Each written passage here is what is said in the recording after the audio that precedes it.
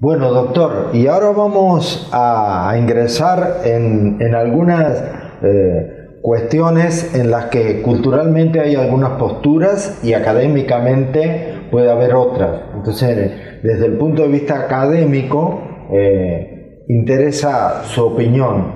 Hay una cuestión que está muy difundida en las redes, sobre todo con respecto a humanizar el parto. Sí, en realidad la expresión humanizar el parto siempre es humano porque nosotros tratamos con seres humanos.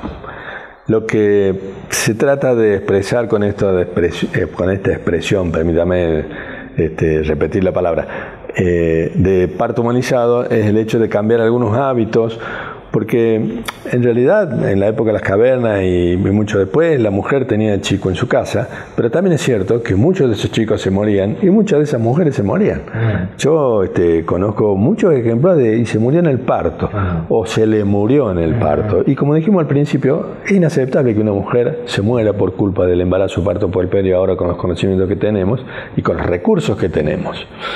En realidad, este, esta idea del parto eh, humanizado hace de que el parto vuelva a ser una situación eh, no médica, sino de familia, una cuestión humana, de reproducción, que, como yo dije al principio, siempre es una terminación, siempre, casi siempre es una terminación feliz con el nacimiento de un niño sano, vital y que va a, aumentar el número de la sociedad.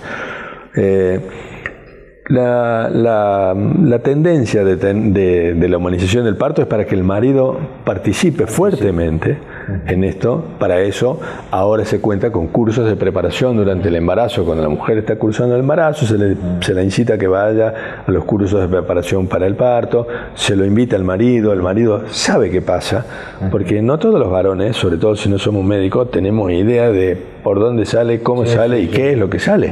Entonces pensemos que para un ingeniero, para un arquitecto o para un empleado de cualquier tipo, este, ver que sale líquido por debajo de la entrepierna de la mujer, ver que sale sangre en cantidades importantes, bueno, son cosas que por ahí este, no las entienden si uno no se las explica bien y los prepara de una manera adecuada.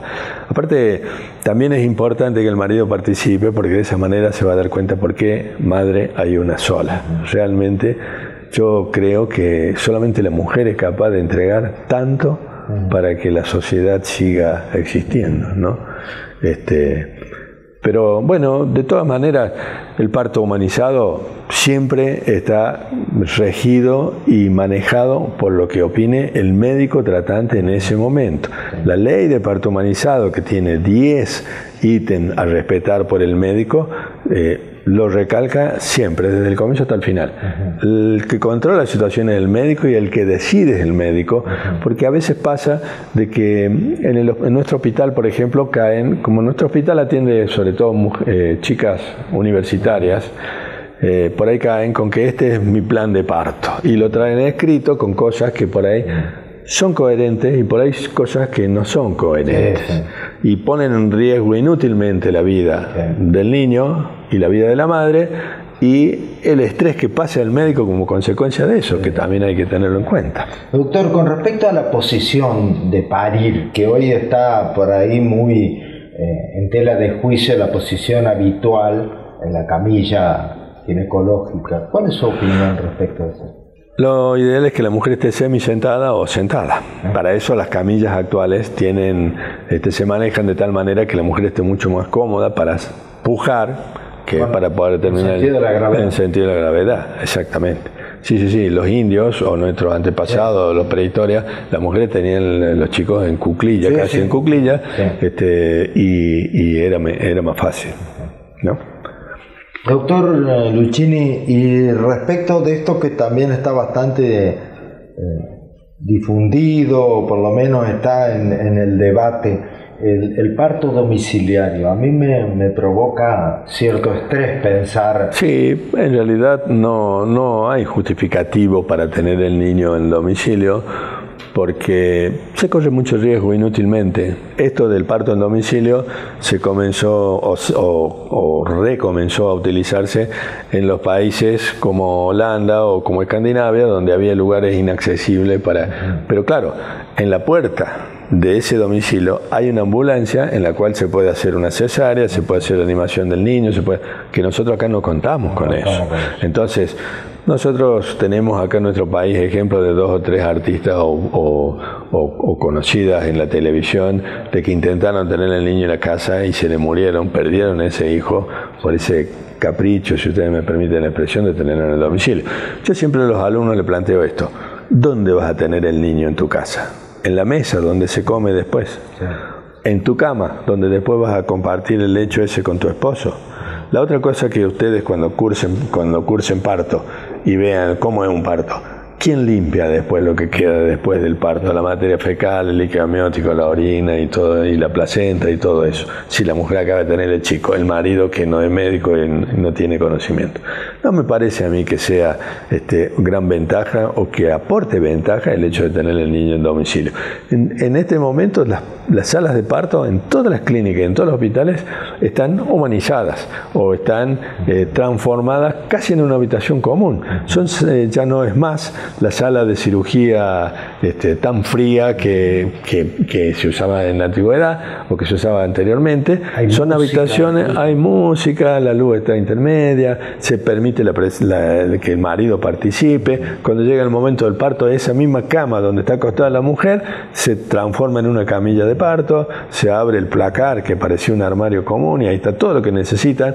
Y si no, a dos pasos está hemoterapia, está el anestesista, está cirugía y está todo lo que hace falta para evitar complicaciones severas para el chico y para la madre. Córdoba tiene una situación que parece que es bastante especial y, y en algunos aspectos preocupante, porque hay ciudades eh, periféricas de, de, la capital donde hay algunas comunidades eh, en donde eh, llegan al parto domiciliario y con una persona que las asiste, que a lo mejor tiene el mismo rol de lo que sería antes la comadrona, que ni siquiera es una obstetra, un médico. Tal cual, son las conocidas doulas. Las doulas. Que aparecieron ahora o reaparecieron ahora, que en realidad son acompañantes. Ellas la acompañan, hacen en realidad el papel que tendría que hacer el esposo o la madre de la paciente, acompañándola este, durante el trabajo de parto y en el nacimiento y todo eso. Nosotros en nuestro hospital por lo menos una vez por semana, tenemos una complicación de mujeres que, han pasado 12, 18 o 24 horas en trabajo de parto y como no se hace, la llevan al hospital, a veces con sufrimientos fetales importantísimos y muchas veces con el niño muerto, que es lo peor. ¿no?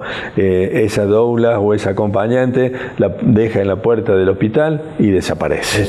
Y el médico tiene que hacerse cargo de esa situación tan desagradable que es atender el parto de un mortinato o solucionar el problema. A mí me parece que es una situación eh, que se debiera debatir eh, un poco más o se debiera informar eh, de una manera que saludablemente llegara a la gente porque se va transformando como en secretos a voces. O sea, este tema de las grietas hace que por la grieta debiera llegar la luz, pero no llega, porque la gente no habla con el que piensa distinto. Entonces muchas de estas situaciones no llegan a tenerse en cuenta de la manera en que se debe tener. Más o menos parecido a lo que ocurre con las famosas campañas antivacunas, donde los journals tienen que salir a convencer personas de algo que es una obviedad, ¿no? Bueno, nosotros hace poco en televisión salió un médico, un pediatra